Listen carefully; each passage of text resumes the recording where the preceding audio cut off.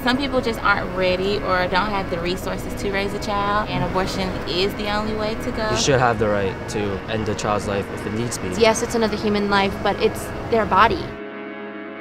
I'm convinced that if pro life Christians don't lovingly but truthfully open the casket on abortion, our nation will continue to tolerate a Holocaust it never has to look at. Silence in the face of evil is itself evil. Something that stayed with me for many, many years is a very devastating thing. You don't see people morally struggling in the pesticide section of Home Depot, but what if right next to it was a section that was to kill your neighbor's dogs and cats section? My mom had signed up to have me aborted. If it could be shown that the unborn are human beings, would you agree that it's wrong to intentionally kill them? You didn't come from an embryo.